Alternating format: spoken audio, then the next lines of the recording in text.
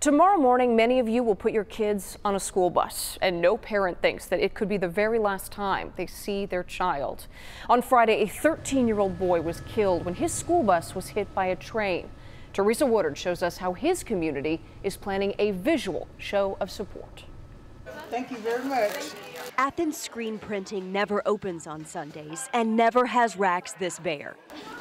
This store is the source of school spirit in Athens, Texas.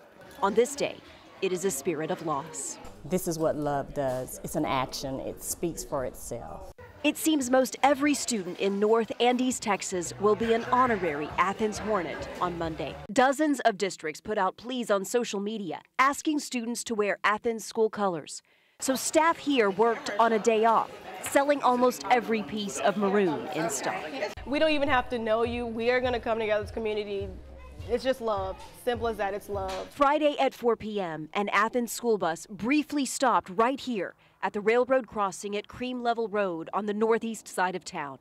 There are no warning lights or arms.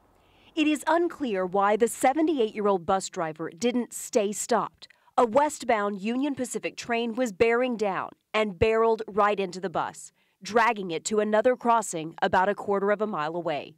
A girl was critically injured, a boy killed. Christopher Bonilla was just 13 years old, a student here at Athens Middle School. Jocelyn Torres, nine years old. She goes to Central Athens Elementary, just a few miles away. Monday will be a difficult day at both campuses and far beyond. Everyone is feeling the loss of a loved one because we're one big family here in the community. So when one hurt, all hurt. Torres and Bonilla were the only students on the bus. Their stop would have been the final stop on the Friday afternoon route. How? Why? Investigators can't yet answer.